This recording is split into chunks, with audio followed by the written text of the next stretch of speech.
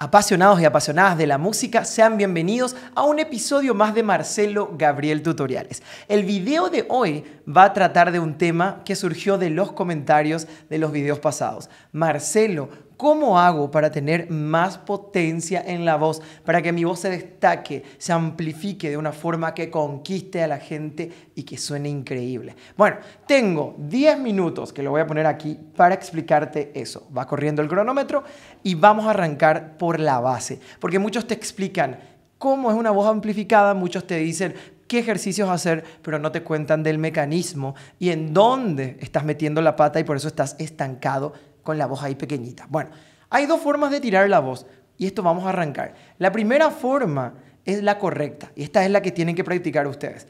La voz se produce por la vibración de las cuerdas vocales. Las cuerdas vocales tienen que acercarse de forma natural, el aire tiene que venir con buena compresión, ni en exceso ni con falta. Tiene que ser buena, tiene que ser equilibrada. Cuando eso se produce, pasa por el medio y las cuerdas vibran naturalmente así, cercas, Así vibran. No de forma separada. Y ahí viene la segunda cuestión. La otra forma de producir sonido es que las cuerdas estén abiertas, el aire pase y las cuerdas en esa posición vibren, pero no lo hagan de forma natural. Vibren por el esfuerzo del aire que pasa. Y ahí está la cuestión, ahí está el error que te impide amplificar tu voz. Les voy a dar los ejemplos porque esto es rápido, tenemos 10 minutos. Cuando yo canto, con las cuerdas en esta posición, o sea, abiertas, y el aire pasando y forzando el sonido, porque no es de forma natural, la voz suena así. Ah. Para yo conseguir potencia en esa posición, tengo que enviar un chorro de aire y seguir forzando la producción de sonido. Entonces, ah, y empiezo a gritar y a producir un sonido no sano. En el caso correcto, o sea, en el primero, donde las cuerdas están acá, la compresión es buena, ocurre lo siguiente. Las cuerdas se acercan, ah, se acercan ya ahí, y se produce el sonido. Ah, y para yo amplificar solamente le tengo que subir el volumen. Ah, perfecto. La voz se dispara. La calidad del sonido se dispara y la propiedad física del mismísimo sonido hace que viaje más. Por eso suena tan increíble. Por eso tu cantante preferido parece que va directo enfrente. ¡Pum! ¿Cómo lo hace? ¿Cómo lo logra? Y es porque tiene una buena coordinación. Ahora me van a preguntar, Marcelo, genial, ya entendimos. En una de ellas se abren las cuerdas y yo estoy presionando como loco. ¿Cómo te vas a dar cuenta? Porque vos tenés que darte cuenta en dónde estás. Los signos, pero inequívocos de que estás cantando con las cuerdas abiertas y forzando para tener potencia son, te cansas muy rápido al cantar físicamente. Parece que te pasó un tractor encima. Si tuviste cuatro canciones, al terminar las cuatro canciones, solamente te da ganas de dormir y abrirte de la vida y estás cansado físicamente. Signo inequívoco de que estás cantando mal. Porque presionando se realiza demasiado esfuerzo. A mí mismo, cuando doy el ejemplo presionando, ya me cansa automáticamente, porque yo estoy más acostumbrado a, cantar también en la coordinación así, correcta. Pero para vos que estás del otro lado te voy a contar mi historia, porque esta es la parte que tiene que motivarte. Yo fui el peor y sigo siendo cuando de repente las mañas vuelven, porque ustedes saben que es como un demonio que el viejo hábito quiere volver si uno no está en constante práctica de la técnica. Entonces yo era el peor presionador del planeta. Me crié cantando folclore aquí de mi país, de Paraguay, con mucha fuerza. Hay una canción que para mí es icónica de Paraguay, que es 13 Tuyuti. Yo la cantaba totalmente presionado. Nata mi mano. Era pura expulsión de aire y mantener las cuerdas abiertas. Sí o sí terminaba con la voz dañada casi siempre. Casi siempre. Y entonces estaba muy cansado, no podía proyectar la voz, por más que tenga un micrófono, siempre la voz me sonaba pequeña, porque no tenía la coordinación. No tenía, no la tenía. En el peor de los casos, yo pensaba que tenía un problema en las cuerdas vocales hasta que aprendí con muchos profesores, muchos cursos y mucho tiempo invertido de que la técnica era mi problema. Y lo fui solucionando con mucha paciencia. Y acá viene la parte interesante. Se puede solucionar y es una cuestión de muchísima disciplina porque hay que reeducar a las cuerdas a que siempre se cierren. Acá van a tener un arma fundamental que les voy a contar ahora, ya casi siendo cinco minutos del inicio de este video. La técnica que te va a ayudar a recobrar esa buena coordinación se llama vocal fry.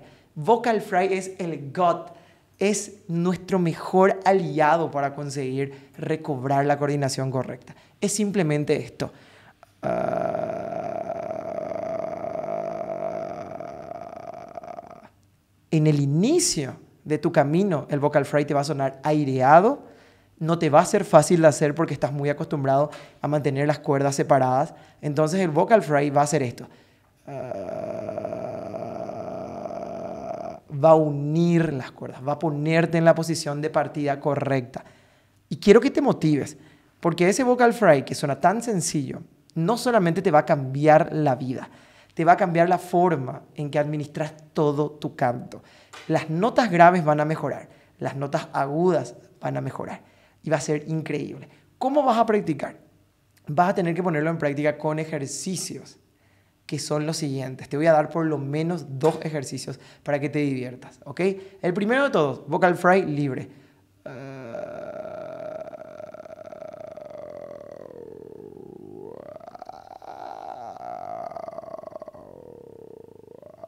Esto lo puedes practicar en cualquier lado, en tu trabajo, en tu tiempo libre, cuando salís un ratito a tomar un aire, pero tiene que estar presente. Y lo tenés que practicar también en tu habla. Escuchan cómo yo hablo y de repente sale un vocal fry en eso. ¿Por qué? Porque es una coordinación que me permite hablar durante todo el día. Y yo hablo mucho. me encanta hablar, ustedes ya saben, ¿verdad? Entonces, primer ejercicio. Y el segundo, ponerle notas. Pueden hacer algo súper sencillo como esto. Esto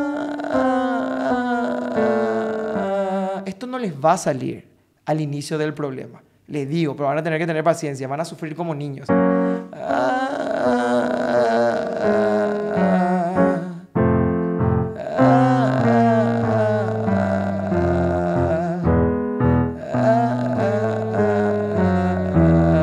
Y van a ir bajando. A medida que vayan perfeccionando el vocal fry, van a notar cómo van a poder llevar a los graves todo el vocal fry y van a ver cómo se expande los graves como nunca. Van a decir, ¿cómo es que yo tengo esta nota ahora? Y antes era puro aire. Un ejemplo, yo no tenía estas notas antes.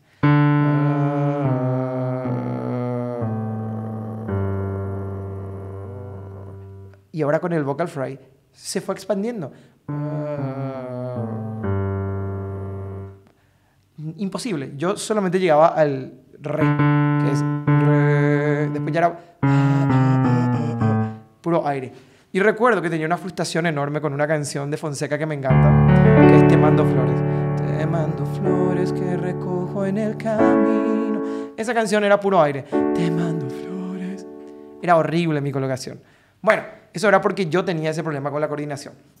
Tengo más ejercicios y tengo asesoría personalizada si formas parte de mi team alumnos. Esta es la parte donde meto el chivo, porque quiero ayudarte personalmente. Yo sé que ese camino es tortuoso y no es fácil, pero yo te lo quiero acortar, porque yo lo pasé, lo sufrí, sé cuántos meses, sé cuánto tiempo y sé qué ejercicios de acuerdo a dónde estás vos. Si quieres formar parte, son solamente 30 dólares mensuales. Contacto directo conmigo por WhatsApp.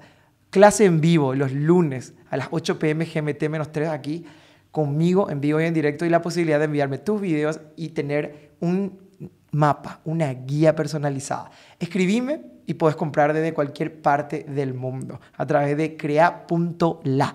Vas a comprar la opción de canto mensual con Marcelo. Así que bueno, este camino te tiene que motivar porque no hay nada que no se pueda cambiar. Un hábito se construye con la repetición. Vas a tener que luchar, vas a tener que sufrir, pero yo que pasé por todo ese sufrimiento, te puedo decir que vale la pena. Va a poder llevar tu voz a otro nivel. Bueno, tenés dos ejercicios que practicar. Ah, y ah, una vez que tenés eso dominado, ahí recién vas a poder hablar de la potencia. Vas a poder...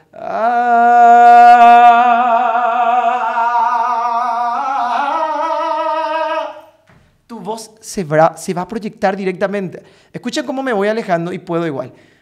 Voy a empezar chiquitito porque tengo el micrófono acá.